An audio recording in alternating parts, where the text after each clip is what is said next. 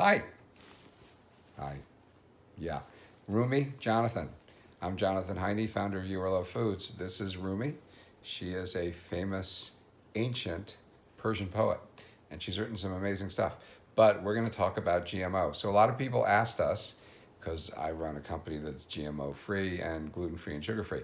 So a lot of people have asked us why there's a problem with GMO, and I've been doing this over and over again. And Rumi, Rumi, has asked me to do yes, hello, has asked me to do just yes, hello, just something about why GMO isn't so good for our bodies.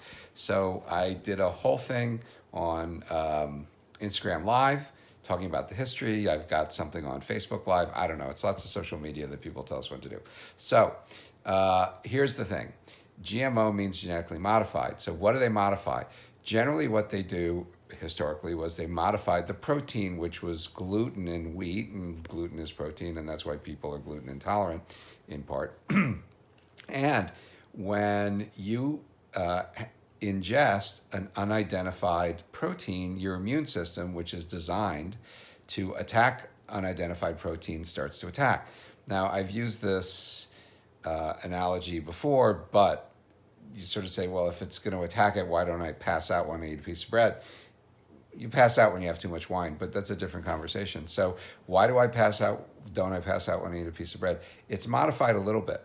But if you keep on eating that piece of bread over and over and over again, and then our whole food chain has wheat all over it, we're bombarding our immune systems ever so slightly over and over and over again. And so I talk about the cat and the rubber band, which is not a Cat Stevens song, but it sounds like it, nor an Aesop's fable. If you take a rubber band and you flick a cat's neck with it, the cat's going to kind of jump and run away. You do it once, cat, you know, comes back, not a big deal. You do it five, six, seven times, cat doesn't want to have anything to do with you. if you do it 20 times a day, even if it's just lightly, eventually when somebody comes along and puts his or her finger on the cat at that point, the cat's going to swipe you with his claws. And that's exactly what happens to our immune systems with GMO. Now, it gets worse. Okay, so in the late 20th century, uh, a large company whose name begins with an M uh, started taking genetically modified bacteria and winding it into the DNA of agriculture, corn, uh, soy, uh, even uh, radicchio.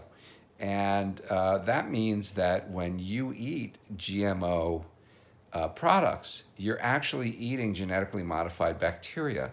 And basically, it's kind of a superbug. And so it's very good at mutating and, and it gets into the soil. And then this company with an M created this thing called terminator seeds, which uh, means that if a farmer buys their seeds, they're activated by the insecticide that's made by the company. And if they don't use the insecticide, then the plants don't grow. And when the seeds drop to the ground, there's no new generation.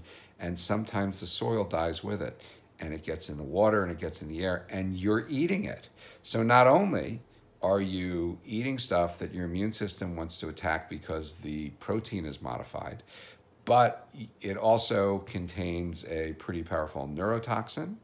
Um, and it, it is a plant that is designed for the next generation to die and not be able to reproduce. Also, what they found with GMO is that it is in fact more insect repellent than non-GMO. Now, let's talk about bugs for a minute. So, bugs are basically DNA sensors with uh, a reproductive system, eggs, and a kind of primitive digestive system. They actually don't digest, they sort of throw up on the food and then eat it.